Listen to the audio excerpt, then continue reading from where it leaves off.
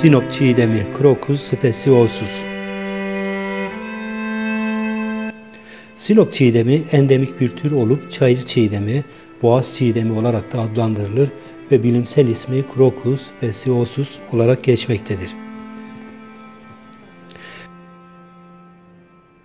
Bu bitki Süsengiller familyasına ait olup boyu 15 santimetreye kadar ulaşabilir ve toprak altında soğan oluşturur. Otsu ve çok yıllık bir bitkidir. İlkbaharda yapraklanır ve Eylül-Kasım ayları arasında da çiçeklenir. Çiçekleri eflatun mor renkli ve anterleri de sarı renklidir. Sinop çiğdemi ormanlık ve çaylık alanlarda yaygın olarak yetişir. Endemik bir tür olup koruma altına alınmıştır.